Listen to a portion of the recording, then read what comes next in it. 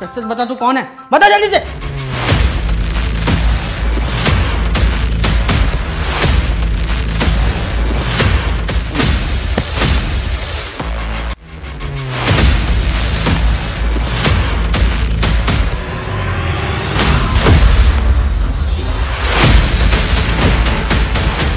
अरे, तुम दोनों ने हाथों में चूड़ियाँ पहन के रख लिया क्या? पकड़ो इस लड़की को।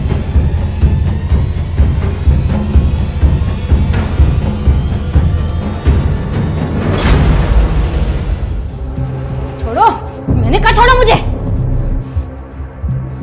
क्या बात है लड़की? आज तक रुद्र भाई को किसी ने धोखा नहीं दिया और तू उसके अड्डे तक पहुँच गई। अब सुन इस लड़की के साथ साथ तेरी भी बड़ी ऊँची कीमत को बोली लगाऊँगा मैं। समझी ना? सही कहा भाई। ये भी जवान है। इसका भी मुँह मांगा दाम मिल जाएगा। देख तो जरा बाहर कौन आया।